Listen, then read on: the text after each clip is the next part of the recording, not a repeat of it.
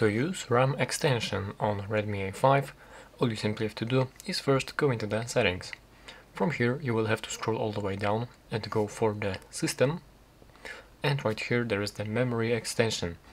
And as you are here you can extend your memory up to 3 gigabytes. And this basically uh, will add any amount of these gigabytes uh, of RAM by occupying storage and use this feature only when there's enough space, storage space available on your device.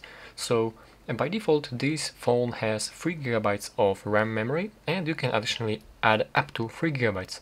So yeah, you can also disable this uh, memory extension option. Simply select any of these uh, options that you'd like and we will have to reboot your device to actually apply the changes. And in my case, I want actually to disable this memory extension and I will reboot. And from here, as your device uh, reboots, the RAM extension will basically work either work if you turn it, turn it on or it will be disabled. So yeah, that is basically how you can do this.